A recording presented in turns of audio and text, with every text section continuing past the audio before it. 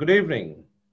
Welcome to BIPSS Strategy Conversation, in which we talk to eminent persons around the world on issues of national and international importance. Our guest today is Ms. Sherri Goodman. Sherri, welcome to the conversation. It's a pleasure to be here. Before we start the discussion, let me briefly introduce our guest today.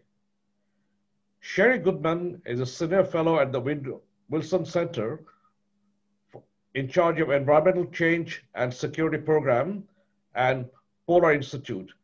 She's credited with educating a generation of US military and government officials about the nexus between climate change and national security, using her famous coinage, threat multiplier, to fundamentally reshape the national discourse on the topic.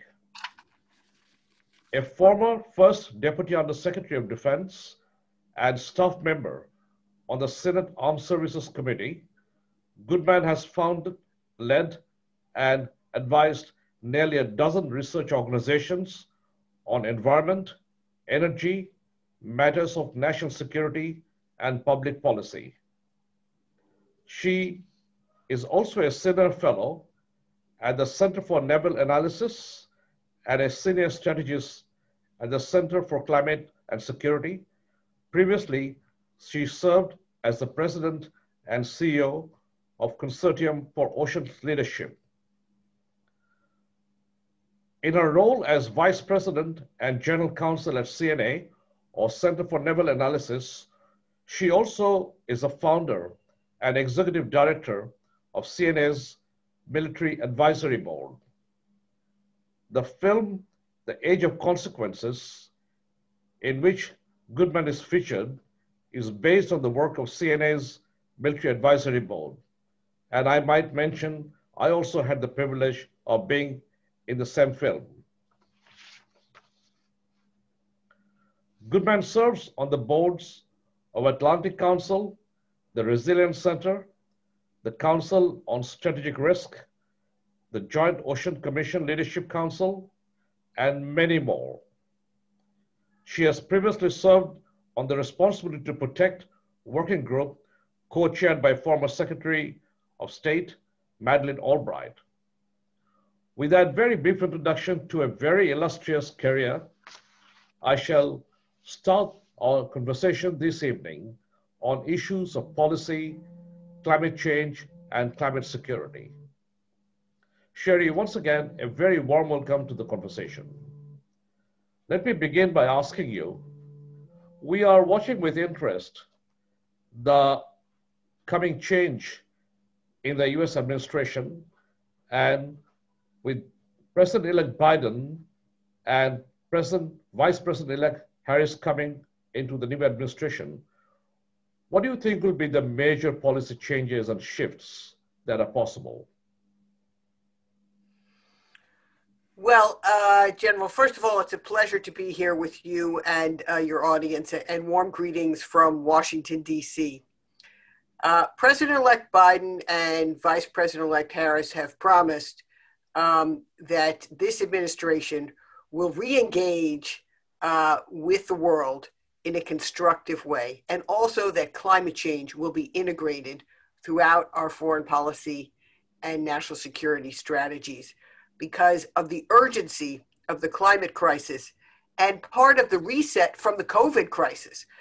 President-elect Biden has said we face, you know, four four crises in America and, and many of them around the world today too. COVID, an economic crisis, climate, and racial injustice. And many countries around the world face that. Those are going to be his four priorities. And uh, what that means for those of us who have worked, like you, many years on climate security is that this will be threaded throughout all of our policies, programs, and practice in every agency and in every international engagement.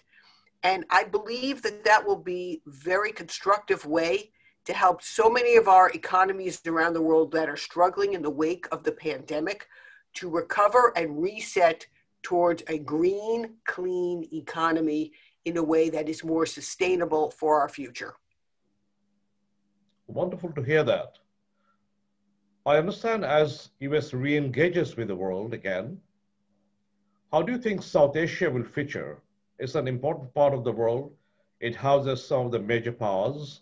We're also in close proximity to some other major powers. So how will South Asia feature in that re-engagement? Well, I, I, think South Asia is obviously strategically and vitally important. Um, you are an economic and transit hub of the of the world. Uh, you also have a, a, vast population and a diverse population um, that's vitally important. You have um, China, a major power right there in your neighborhood. You also have many allies and partners of the United States your own country um, included. I think that um, South Asia is particularly important as we move to meet the goals of um, uh, our climate goals. Um, when the U.S. rejoins the Paris Agreement, which President elect Biden has promised he will do on day one, that's going to put us back on a path of meeting those nationally determined commitments and he has said that um, the U.S. will commit to have a net zero electricity sector by 2035 and a net zero economy by 2050. And many countries around the world have also laid out those ambitious goals.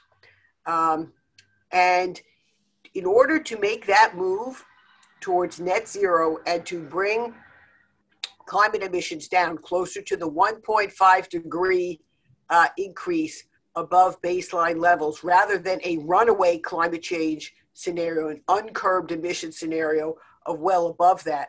We need over the next several decades rapidly to transition our economies from a fossil fuel dependence onto more renewable and clean energy. Uh, and South Asia has a big role in that for two particular reasons. One is because um, much of South Asia is been in energy poverty for many decades. So as more and more people rise into out of poverty into the middle class and have sources of electricity, it's important that they, as much as possible, um, move on to cleaner uh, and greener sources of energy. And secondly, um, because to meet these ambitious climate goals, we we need to move off coal most importantly.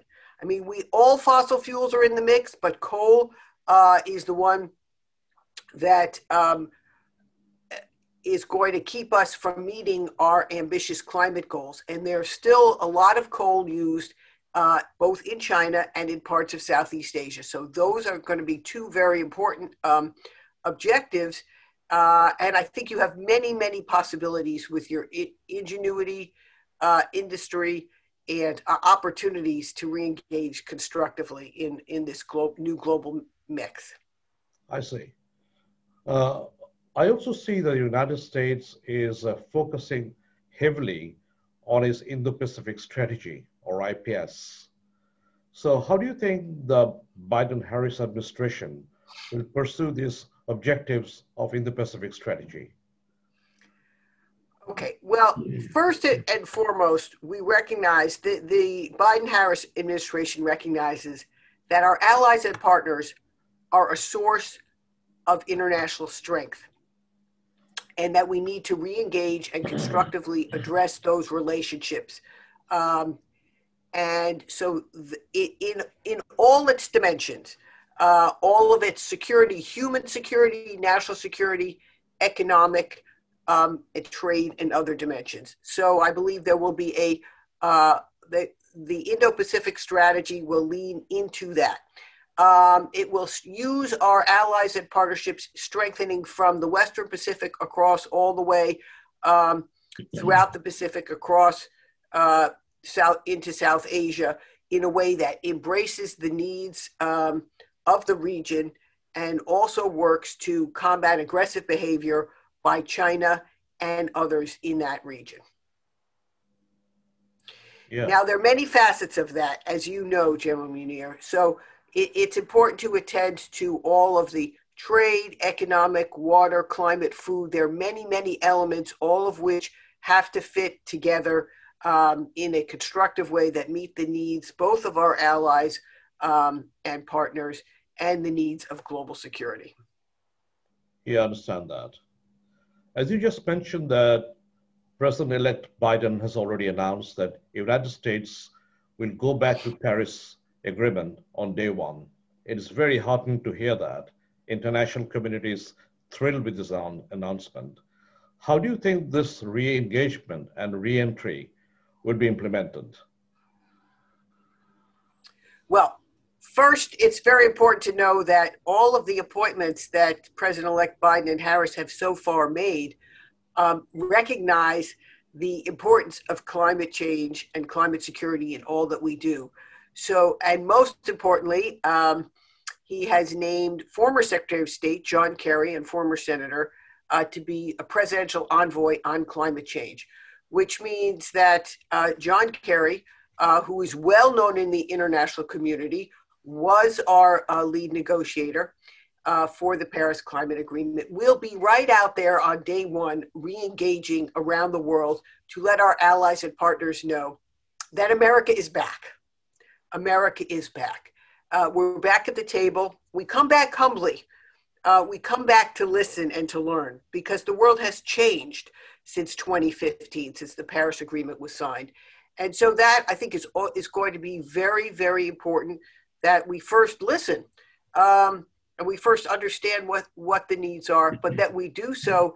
And in fact, in virtually every uh, discussion that President-elect Biden has had with a foreign leader um, since becoming the president-elect, he has mentioned the subject of climate change. So this is right at the top of his agenda for every every international engagement right now. But uh, in what ways do you think that the United States will be able to cover the four lost years when it was completely absent from the agenda? Well, look, uh, you know, I mean, there's there's no doubt that that the U.S. having been absent created a vacuum. First of all, it uh, you know there was a loss of trust in America as a reliable partner, and I think we recognize that, and that's why we come back with humility um, and needing to listen and to learn. Second of all, the vacuum of the absence of American leadership allowed uh, has allowed others, China, Russia, other actors, to uh, declare their so-called climate credentials and use them in a way uh, to advance their own national interests, ones that aren't always aligned um, with uh, peaceful uh, prosperity and long-term human interests uh, of the region. And so we need to recognize, um, recognize that uh, and recognize that while there still remains tension and global competition, there also have to be ways of cooperating to achieve these common goals of putting ourselves back on track to address the climate crisis. So much of this will be driven by Secretary Kerry Am I right to understand that? Well, he is he is the president's envoy on this. We have a secretary, you know, a nominee for Secretary of State, Tony Blinken, who also himself will be very active. The president himself. Uh, I think you'll see this. Um, there'll be leadership throughout the cabinet and uh, throughout the White House. So basically, uh, am I right to understand that climate change should be mainstreamed into all policy making, both nationally and wherever internationally we're engaging. Yes, that's a great way of putting it. And you know, you and I have worked on this for many years to mainstream climate change into foreign policy and national security decision making. From our uh, strategies, our national security strategies, which um, through the uh, Obama administration, at least, did include for, for a decade at least since the first CNA Military Advisory Board report in 2007, a recognition of the threat multiplier impact of climate change. Uh, so, so, strategy, policy, plans, programs. I think you'll also see it in procurement uh, I mean, how we buy and what we buy is a major reflection of how we address the climate crisis and how we turn the corner towards greener, cleaner energy and uh, equipment and others. And so, militaries, for example, around the world are often big buyers of, of material and logistics in their own country. So, that's going to be an important opportunity for the national security community to step up and lead by example. Yes. Uh, but talking about Paris Agreement, uh, we were all present there when the agreement was signed in Paris with the negotiations, and we were excited. But as we now look back and monitor, are you confident that we are on track to implement the agreement fully? And if that doesn't happen, are we able to cap the global temperature at 1.5 degrees? Because I really get worried when I hear and also read that people are now talking about a two degree world. We are talking also about two degree plus or three degrees. Is that something a possibility? And what would be the catastrophic consequences of that? Oh yes, uh, I, am deeply worried that that it will be hard to put global economies back on that 1.5 degree pathway. And as you may know, we um, we we did a study last year uh, through the uh, Center for Climate and Security and with the International Military Council on Climate Security to look at um, security threat assessment of those two different warming scenarios. One, which we call the curbed scenario, where we get back onto a 1.5 degree uh, warming uh, track, 1.5 degrees C. And the second, what people call the uncurbed scenario, where temperatures rise over the next several decades uh, approximately three degrees or more. And the differences are remarkable, um, General. Uh, they are um, in the in the uncurbed scenario. I mean, in the curb scenario, it still is quite severe. Let's real recognize that a lot of this warming is already baked in to the Earth system. The Earth is a system when we have already raised temperatures significantly and sea levels have already risen, and polar sea ice is retreating, and permafrost is thawing and collapsing, even as we speak. Um, uh, and in the three degree warming scenario, some of the impacts, particularly in South Asia, could be uh, towards the catastrophic end with dramatic sea level rise, uh, coastal erosion, storm surge, flooding, and inundation, making part of coastal areas, including in the US, but also in your region, uninhabitable over the over coming decades. That's a frightening scenario, actually, and we all should get worried about that now. But as we do that, I would like to say that it is internationally recognized that you are one of the pioneers of the concept of climate change and security, or the nexus between climate change and security. Do you think the concept is being well understood and acted upon by states and international community? And if not, what should be done to sort of make states understand and realize that this is a place where they need to take action? Uh, what a what a good question. I, I, think there is growing awareness and and recognition of it, um, both in a variety of UN forums on climate and security. Um, those focused, I'd say, quite significantly on the human security dimension, which I, I believe is very important, and the food, water, energy nexus. Uh, and I, I think also military and national security professionals around the world uh, have growing awareness. You know, we formed the International Military Council on Climate Security a year ago and now have over 35 um, member nations affiliated with it. We released the first World Climate Security Report uh, in 20 uh, last year, and uh, we are actually earlier this year, and we are going to be releasing the second one uh, next year in the run up to COP26.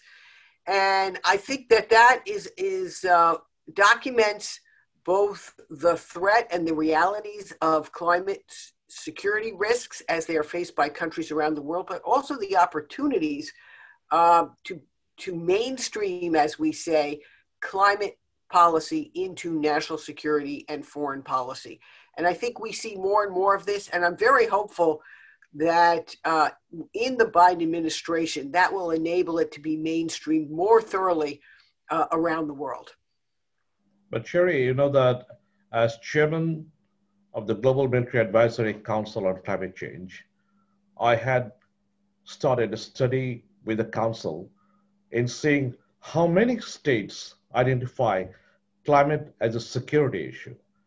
And it was quite heartening for us to see that over 100 states had identified climate change as a security issue in some form or the other in their national policies and national papers. But it stopped there. They didn't go any further and did not assign any analysis or any response mechanism after identifying that climate change could be a security issue. So I think there is a large gap between identification and preparation. Do you think uh, councils like mine or yours could do anything to do prepare them? Yes, absolutely. I, I agree with you. Uh, there is a gap between you know identification and really evidence-based analysis, and also um, bringing in the professional um, climate expertise into national security and military leadership.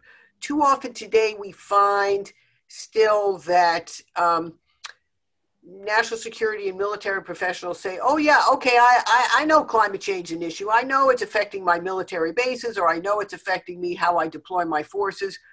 But really, I'm not an expert about it. So you tell me what to do. And therefore, it doesn't get well addressed. So I think we're on the cusp of being able to train a whole new and educate. It's partly training and education that starts from you know the earliest years but can also come at the mid-career and also integrates um, uh, this the scientific uh, and engineering expertise of climate professionals into the national security planning process so that you have analysis uh, and then you have programmatics and now there's one other very important thing which is we often say that a strategy without resources is hallucination.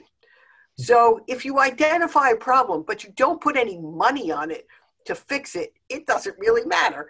Um, so we can have all the plans and pro, you know studies out there, but still you have to do something with it. And I'm I'm very hope I'm more hopeful, let's say more hopeful, that uh, councils uh, like we both you know we both are affiliated with these international military councils will get some elevated attention and traction within their own defense ministries and foreign ministries and in, in the relevant uh, multilateral and global institutions in coming years to actually put investments into specific projects, whether it's resilience of military bases or greening procurement or actually designing strategies um, security strategies that help us climate proof, climate proof a region uh, that will actually be meaningful. But when we talk to climate experts or people who are in the business of climate change, there is a great reluctance or a fear that talking about climate security, people are trying to securitize climate change. Is that a genuine fear, or you think that it is completely ill founded? Okay, I I, th- I think there are. Um, I think that type of dialogue um, and concern is expressed um, either when um, there's when the, when there's not as much knowledge of the actual constructive role of the security community, or because there's a recognition that a lot of the solutions, the ultimate solution set for climate change is not in the armed forces. I mean, we have to lead by example in, in what we do, but the actual solution to reducing emissions globally is going to be, for example, in the energy transition. And the major parts of resilience and adaptation are both in the civilian and in the military sector. But the civilian sector, of course, looms very large. So I think that's why uh, that concern, I hear that concern expressed sometimes. I'll tell you what, um, I, have recently begun to frame this uh, because I think we're entering into a new era now where we have the climatization of security. um, as we mainstream climate change across national security and foreign policy, we now have the climatization of security. Uh, and that's because it's going to be, you know, front for at forward in all of our national security and foreign policy. And I think that could be and can be a very positive um, step. Yeah. I know that you've worked with the US military for many years at the policy level. Do you think the US military is preparing enough to take on the role and responsibilities in the response community of climate change impacts, both at home and abroad? Well, are we ever doing enough? No, nobody's ever doing enough. Um, but uh, are we getting ready to do? Uh, have we been doing more and can we do more? Yes. Um, you know, just in the last year, uh, let's say in the U.S., even though you know we we've um, had a climate denier uh, or some say climate arsonist uh, at the uh, at the head of, of the U.S. government. Despite that, um, the Department of Defense has developed a climate assessment tool to use throughout the U.S. Department of Defense and on our military infrastructure. That's being put in place now and at least 150 military bases uh, are going to be assessed using this new tool. Um, so that's one sort of imp- important important piece of data. Uh, at the same time, I see um, uh, you know there's increasing efforts to assess uh, resource competition, environmental security, and stability as a holistic approach uh, throughout a variety of foreign policy planning processes, including recently in, so, in, in something called the Global Fragility Act. Uh, so you see that climate considerations entering into domains of foreign policy planning like uh, global fragility and humanitarian uh, relief efforts, and um, in ways that previously they've been considered kind of off on the side. So I do think that mainstreaming uh, is coming. Now, I also think what will happen, hopefully, in a Biden Harris administration is that you'll also see um, national security and defense leaders integrating climate change into their military to military engagements. That had not previously been often the case. Um, uh, that the US was leading to say in its engagement with um, uh, another, you know, it's mill to mill engagement, either in NATO circles or in um, countries in Southeast Asia, that yes, climate change should be one of the, the dimensions of our mill to mill relationship. Yes. Uh, but uh, what is really needed is not only the interaction between the different parts of the government, the different agencies of the government, but we need a sort of a seamless transition or work amongst all the organs and amongst all the institutions of the government. And that's the only way I think we can bring a whole of government's response to the threat of climate change. And I completely agree that that's the way you think it should go. But uh, also coming back to another point, I know that you have talked about this previously in many places, that one of the largest polluter as an organization is the military. So how do you think we should work in greening the military, for example? Well, yes, you, are right. I mean, in the U.S., uh, for example, the U.S. military is the single largest energy user uh, at about 1% of um, total um, energy used. And much of that is in fuel to power our forces, our aircraft, uh, in particular and our ships. Okay, so How are we going to address that? We have to lead by example, and there are several ways. Um, first is militaries have often been leaders in technology, innovation, research, and development. Um, for example, in you know the internet, uh, global positioning systems. Many of the the technologies in widespread civilian use today were developed uh, first in the military. So we need to step up our game on clean energy and climate tech innovation. Uh, and we've been talking about having, you know, a defense clean energy innovation initiative or office or uh, major initiative to ramp up. We already have some investments in that area, but we could do a lot more. Uh, everything from smart grids uh, to electrification of vehicles. I mean, the military buys a lot of vehicles, and they're not all tanks. Okay, a lot of them are are just what we call non-tactical vehicles. You know, the trucks, uh, etc., that are moving uh, equipment. So, in particularly in peacetime, so there's a lot of opportunity for electrification. Then. Um, uh, uh, different types of fuels. You know, there's a lot of research going on now on green hydrogen and other fuels. That needs to be explored uh, in in depth. And then uh, renewables. You know, uh, in the U.S. we have uh, a lot of our housing at military bases is powered today by solar. The largest solar powered housing in the United States is on a military base. Um, and so we can do more of that, leading by example in a variety of these uh, clean technology areas.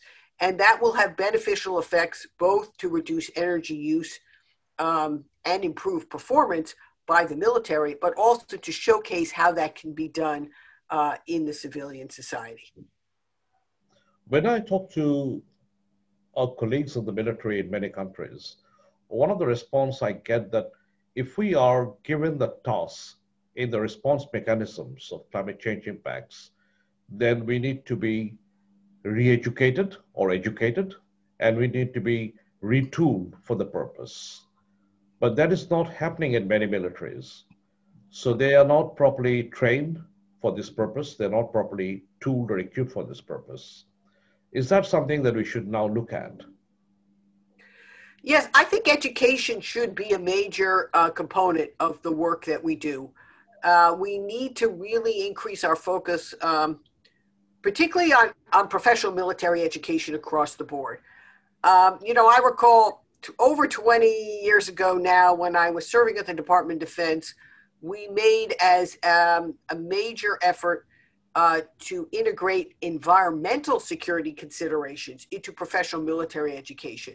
And I spent a lot of my time at our war colleges and our uh, national defense universities and others, and working with our military educators uh, to flow down environmental security education and training throughout the curricula. Everything from kind of um, uh, particular train, training on equipment and how to manage equipment to all the way up to sort of strategy um, and policy and philosophy. And I think we need a dedicated effort um, in that regard, and uh, I'm hopeful that that will um, that that will be a component of our work going forward. Thank you. And I also would like to bring up another issue. A major area of concern for everybody, particularly in our part of the world, is the issue of sea level rise. And as we study that, uh, in many cases, I think the issues of sea level rise, in some cases or many cases, irreversible now. So, how do you think will be the potential impacts of sea level rise? Is the international community really understanding this? Are they preparing for this? Do they have the consequence planning in their mechanisms? Because uh, I would also like to mention that about two years back, I was asked to go and give a briefing at the UN Security Council at the United Nations in New York on the security impacts of sea level rise. And I was quite surprised to see how the level of understanding was so minimum there of the grave consequences of sea level rise.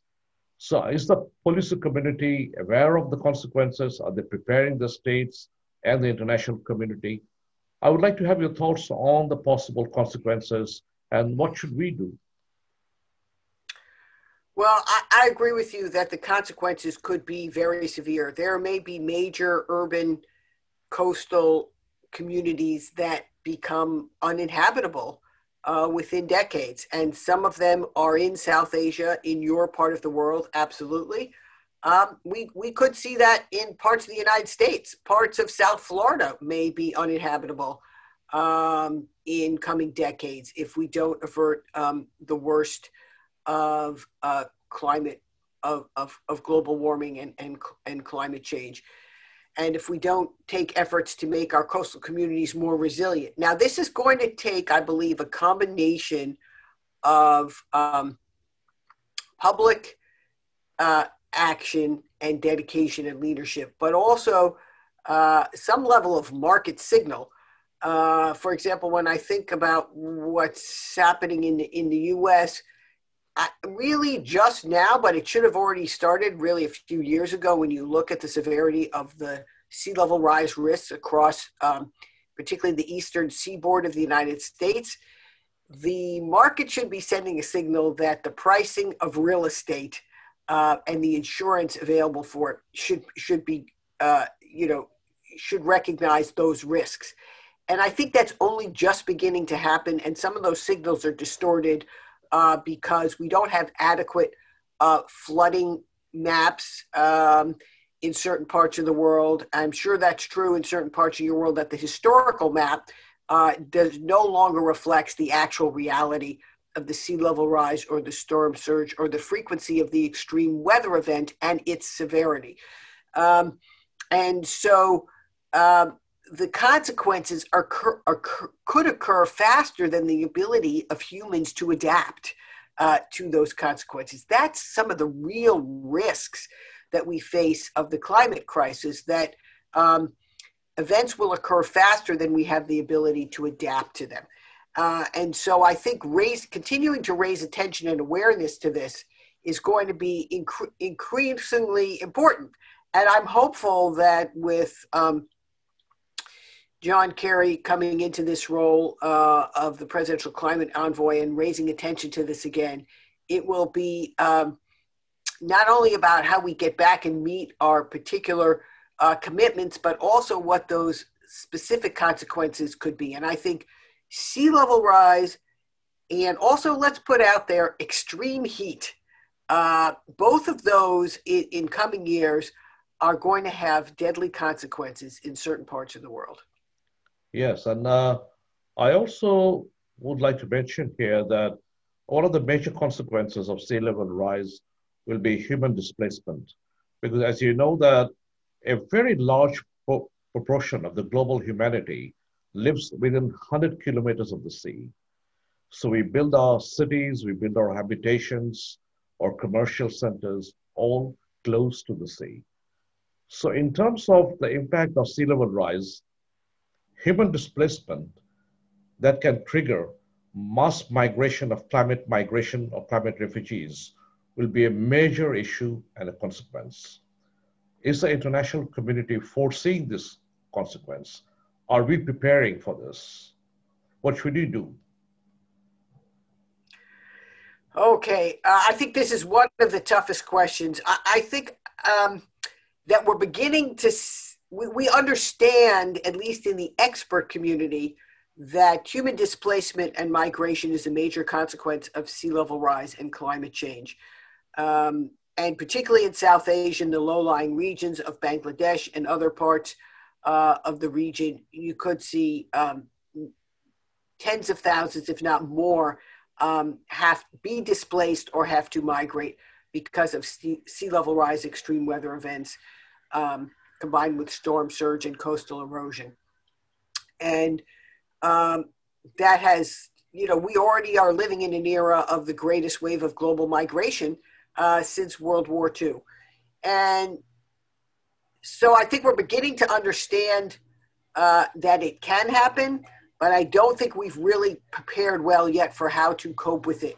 Um, and I think we're going to need to step up our game, both in understanding this, in using international institutions better to uh, assess and address some of the issues with climate migration, um, with definitions of, of um, refugees, and also for planning um, um, relocation strategies uh, that will have to occur, both probably at the national and at the international level. Just in the US already, we've seen um, several um, towns in both Alaska and in Louisiana, uh, areas of the US that are hard hit by sea level rise and coastal erosion, uh, have to be relo- where the populations have had to be relocated uh, upriver or inland uh, because they can no longer, because the coastal area they lived no longer accommodates human habitation. Let me share with you some statistics about my own country, Bangladesh. According to IPCC's report, a one meter sea level rise in south of Bangladesh will mean a loss of 17 to 20% of Bangladesh's territory. So a country as small as Bangladesh with 170 million people, the national country strategy paper analyzes and says that it will create a climate refugee population of 25 to 30 million people. I see some reports of independent observers and analysts, the numbers they say is even higher. But even if we take the government strategy paper, it's a massive number of climate refugees. And if that happens, that Bangladesh alone will create a climate refugee population that can become a major source of destabilization and insecurity, not only to the region, but internationally. Is the world looking at this kind of problem? I don't see the awareness anywhere.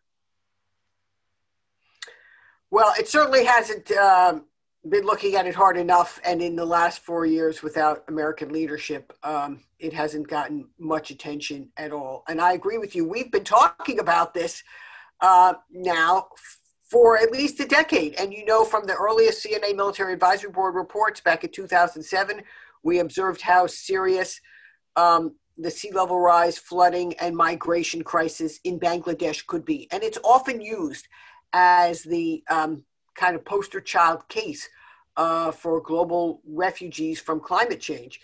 And I don't think we've yet come up with a strategy and a plan, but I think it's going to be very important um, to do so in the future as part of uh, both resetting climate, uh, a climate forward um, foreign and international policy.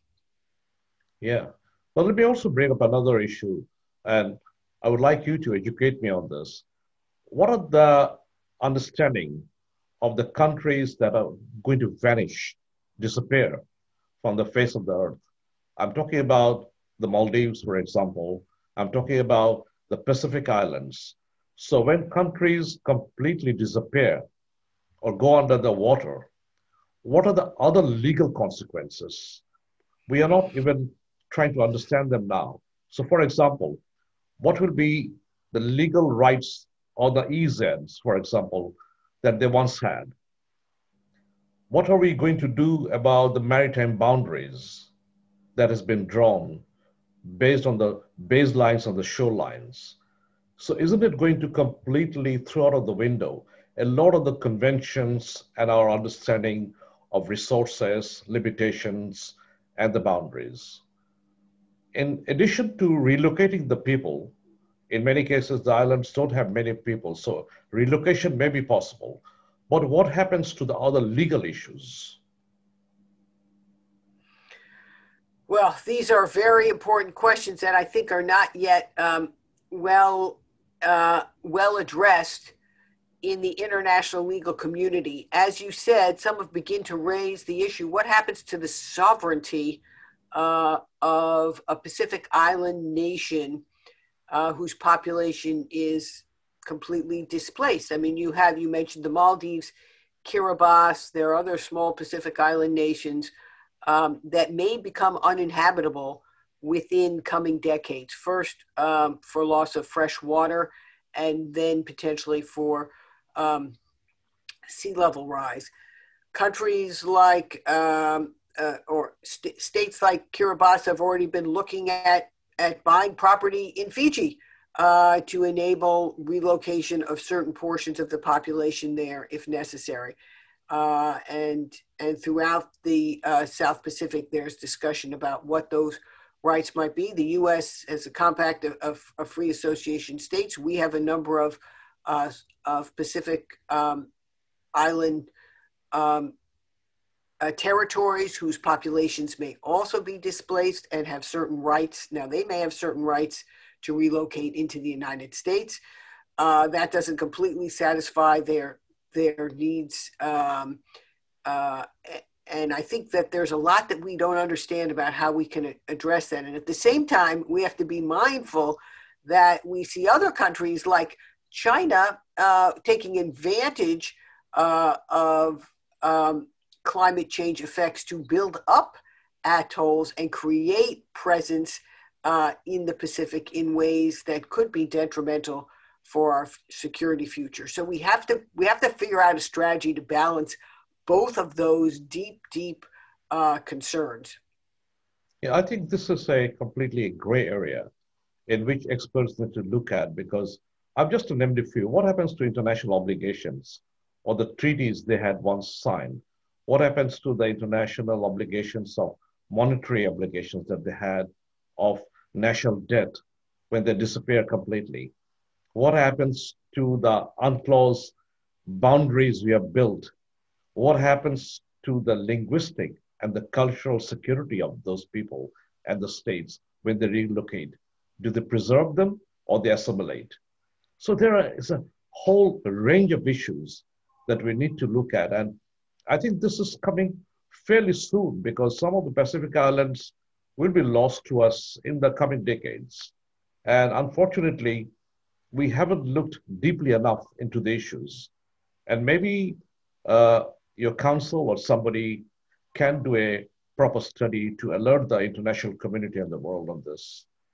The next thing, Sherri, I would like you to focus on, I know that you work a lot on this, the melting of the ice caps, the polar caps, is not only going to contribute to sea level rise, but it will also have other consequences. So, what are the range of other consequences?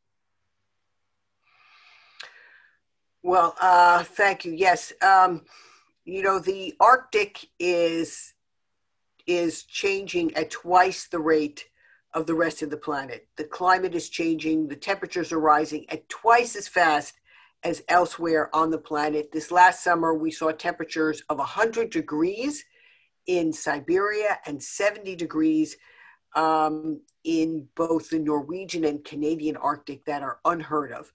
So the sea ice now has has been at the lowest um, extent in recent decades as when it's measured in September annually each year. It was at the second lowest extent uh, this year, and the and the first lowest extent was just a few years ago. So the sea ice is on a path to retreat, uh, and permafrost is thawing, which is creating hazardous and dangerous conditions for infrastructure across the Arctic, um, particularly in Russia, where you have um, about 20% of Russian GDP is derived from Arctic activities, primarily energy, oil and gas, and mining. Um, so we have a changing Arctic, a whole new ocean that's opened up in our lifetime. And um, the Arctic has primarily been a zone of, of peaceful cooperation among the eight Arctic states and in the Arctic Council with a number of other observers. But now many see commercial and potentially other opportunities in the region as it becomes more navigable. Now, it's still very dangerous and hazardous to operate in the Arctic. But for example, Russia under Putin has set very ambitious shipping goals up to 80 million metric tons from about approximately about 20 million metric tons today of shipping across the northern sea route, which would connect uh, ports in Asia to ports in Europe. And China's Arctic policy, first released in 2018, declares itself an Arctic stakeholder and a near, a near Arctic um, power, and also observes that shipping times could be shorter across the northern sea route than the the southern route uh, through the Straits of Malacca and up through uh, the Strait of Hormuz for shipping. Now that's still many decades away, uh, particularly what they call what's called uh, the transit shipping from one um, from one region uh, to to another. Uh, but destination shipping, you know, shipping to these energy complexes uh, within the Arctic, particularly at Yamal, where China is heavily investing with Russia to develop uh, that um, oil and gas complex is going to continue. So we're going to see increased exploitation, uh, ironically, in the climate era of fossil resources uh, in the Arctic. Uh, we'll see increased human activity. Uh, Russia is building up its military um, defenses, its forces, its ability to operate uh, with nuclear icebreakers and other vessels in the in the Arctic. Other nations are doing the same. The U.S. is uh, had a um, couple of aging icebreakers that it's now finally beginning uh, to uh, to rebuild with a new fleet of icebreakers, but that's still several years away. Um, and so the world, the Arctic has changed dramatically because of climate change. Uh, an era of potential, uh, but not certain uh, competition among uh, major powers in the region. But also, I think there hopefully there will be opportunities to reduce tension in that region and to recognize uh, the importance uh, of of the Arctic region to the people of the Arctic and to the security of the planet. Another area, area of concern is uh, our inability to reduce the carbon in the atmosphere or our inability to reduce the global temperature. Many people are now talking about the idea of implementing geoengineering to do that. Do you think it's the right technique or the right approach to implement geoengineering? You know, I think we have to reframe that question a little bit, Munir, because I, I think that um, I think some form of um, carbon removal technologies will be will inevitably be used in coming decades. So the issue is going to be what are the right governance regimes uh, to manage it? How can it safely be done? Uh, how can we prevent it being mis- misused? uh, I think we're going to have to look at, at that. I think we're past the point at the now where we can say um, we're not going to use um, carbon removal technologies to avert the worst climate cri- of the climate crisis. But do you have the right international policy regimes or monitoring mechanisms or international guidelines? Have we been able to test them from safety records, etc.? Is uh, international organizations looking at this, or who would be the right organization to look at this? Well, that's a good question. No, I, I don't think we have the right mechanisms yet. Most of the work I've seen have been, you know, from think tanks and research organizations, um, trying to bring together, in some cases, an integrated um, group of both experts, policymakers. Um, I, think it will have to be taken up in some kind of international fora whether the UN is the right organization to do that, uh, but, but we'll need some kind of um, multilateral fora to address it. Uh, another area, if I may draw your attention, is that the area of resource scarcity or the resource competition, particularly when you look at the Sahel or African region or some other areas. Uh, resource scarcity and competition can trigger tension and conflict. We've seen that in Darfur, for example.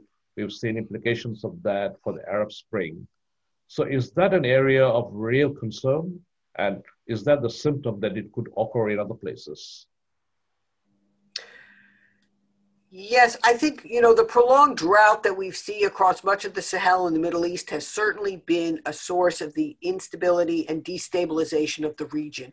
It's not the only source, but it is a primary underlying factor we've seen in everything from Darfur to uh, the Syrian uh, uprising and unrest, and including in the Arab Spring. So, you know, we need to understand how prolonged drought, particularly in the in that region, has become a destabilizing force that then at times terrorists from Boko Haram and uh, Al Shabaab have taken advantage of when vulnerable populations are put at risk because they lack food and water security and therefore can bend to the will of those um, who, who can control the resources when you have a fragile state um, that's particularly where parts of a state may be in an ungoverned situation with very scarce resources. So I think this is going to continue to be uh, a source of tension and, and conflict throughout uh, North Africa. It's an area where there have been some sophisticated efforts to develop strategies to integrate um, uh, integrate sort of food and water and development considerations into rebuilding lives and livelihoods around communities in the region and parts of Europe in particular have been very involved with um, their African neighbors and counterparts to develop you know more sophisticated but indigenous uh, and appropriate strategies. Yes, I understand that. Uh, we are coming to the end of the conversation. So the last question that I would like to ask you is you've talked about the concept of R2P2. So would you like to explain what you exactly mean by R2P2? Well, the responsibility to protect um, uh, concept uh, was first developed as a way to um, uh, address uh, vulnerable populations and really mass atrocities occurring. And you referenced uh, some work that was done uh, by Secretary Albright and through the Holocaust Museum and recognizing my parents are actually Holocaust refugees. So this is something that's very close to me personally and my history. The responsibility to prepare and prevent doctrine that we developed uh, as a follow on to that for the climate era is one that that uh, recognizes the unprecedented climate risks that we face today, as you and I have been discussing for the last hour, and then uh, the responsibility we have to prepare. As you noted, well, the um, catastrophic sea level rise consequences in Southeast Asia, we have as a global community responsibility to prepare uh, for that future and as best as possible to prevent it. So that's the R2P2 concept introduced uh, at the UN Security Council uh, within the last several years. It's gotten some attention, but it really it needs a, a lot more. Um, uh, it needs more development, more work, and uh, more focus uh, by countries, major leading uh, countries and institutions that want to take this on, so that we can leave a better world for our children. Well, Sherri, that was a fascinating discussion, very educative, informative, at times scary, and that is exactly what it is. The issues of climate change and security touches every corner of the globe. It is not a country's problem, it is not a region's problem, it's a global problem. And the only way to cope with this is if we act as a global community in meeting the challenge of climate change and its impacts the time is running out and we are first reaching a tipping point. Unless we act now, act on an urgent basis, perhaps we will not be able to spare our countries and the region for the catastrophic consequences that we are likely to face. Sherri, I would like to thank you for your time this evening and more so for your tremendous contribution to the cause of climate change studies and understanding. You are a global leader. You inspire all of us. And I hope you continue the good work that you're doing. I thank you all very much. I would like to give you the floor for your last thoughts. Well, I want to also thank you for your leadership. Um, it's been remarkable and has made a huge difference uh, in but not only in your region but throughout the world where we've had the opportunity uh, to work together on a number of important efforts. And i am hopeful uh, that as we move into a, a new u.s administration we will america will be back uh, and we will again be leading with you and others on um, climate security so we can climate proof um, and make more resilient our future. Thank you, Sherri. Stay well and stay safe. And you too. Thank you very much.